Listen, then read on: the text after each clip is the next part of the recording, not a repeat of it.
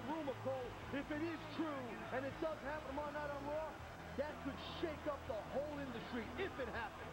Seven foot two, 500 pound, the Big Show set to take on Chuck Palumbo in this matchup, kicking off Sunday Night Heat. And Taz, what has been a wild week in the World Wrestling Federation. A week which began last Sunday night, a week from tonight in San Diego, with the crowning of the first ever undisputed WWF champion, Y2J Chris Jericho. No doubt, you got to take your hat off to Jericho. He earned it. I don't know if he earned it cleanly, but he's busted his butt here in the World Wrestling Federation, and he's the man right now. Well, Chuck Palumbo, he's no small fry, but the big show dwarfed him in this matchup as he whipped Palumbo across the ring into the corner, and Chuck Palumbo's going to have to try to win this with his quickness, and what a shot from the big show. Sounds like a gun going on. Chris Jericho, the undisputed champion, defeating both The Rock and Stone Cold Steve Austin on the same night at Vengeance. But you make a very good point, Taz.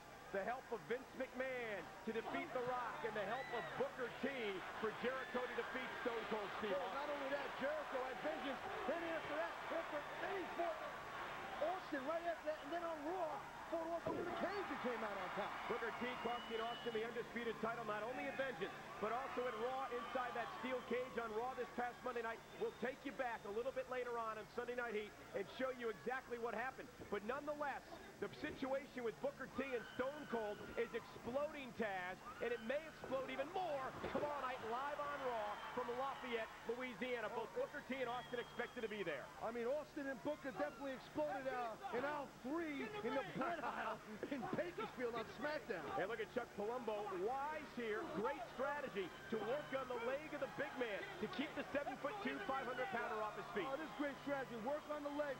Man got no base. He can't stand. I mean, you know, a minute ago, Palumbo punched Big Show in the head. I mean, Big Show's got a head like a police horse. But nonetheless, look at Big Show struggling to get to his feet. And Chuck Palumbo again goes to work on that left knee of the Big Show. And this Chuck Palumbo, especially under the tutoring of Billy Gunn, I'll tell you what, Taz, he's going to be a force to be reckoned with. Oh, he's going to be a force. Palumbo, definitely, he's a young stud. Billy Gunn, experienced veteran that's done it all. I still don't like Palumbo's red boots. I got big heat. Oh, look out. What a right hand from Big Show to Chuck Palumbo. And the 7'2", 500-pound monster tries to make it to his feet, and Palumbo knocks him down again. Palumbo's relentless, and he's got to be. Just staying on top of, of Big Show, what he needs to do, keep Big Show down. Ooh. Oh, Big Show caught him. Palumbo went to the well once too often. Big Show trying to gain his balance, trying to uh, get some blood flowing back to that knee, and he walked right into a shot to the chop by Palumbo. What a huge jump step over the knee, and Big Show just got his shoulder up before the count of three. This would be a major upset, and what a feather in the cap of Palumbo to pick up a win in this matchup, Taz. Be a big feather in his big-headed cap. No doubt about it. Well, Palumbo instead arguing with the referee, should have worried about the big oh, What a clothesline. It's like getting hit with a telephone pole. Brother. You ain't kidding. And Palumbo now in trouble as Big Show begins to build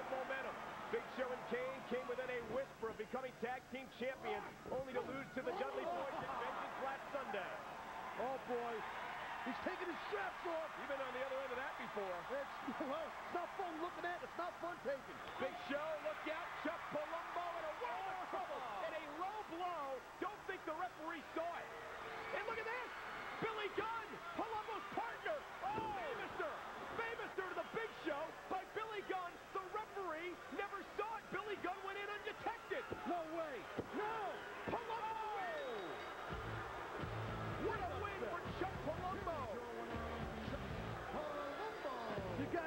you got to take a hat off to Palumbo. That's a big upset.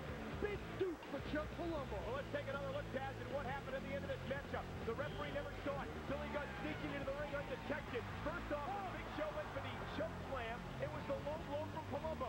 Now check out Billy Gunn. Big time Fameasser right here. Billy Gunn jumping about six and a half feet in the air. Big win for Chuck Palumbo over the Big Show thanks to Billy Gunn here tonight on Sunday Night Heat. And Big Show is not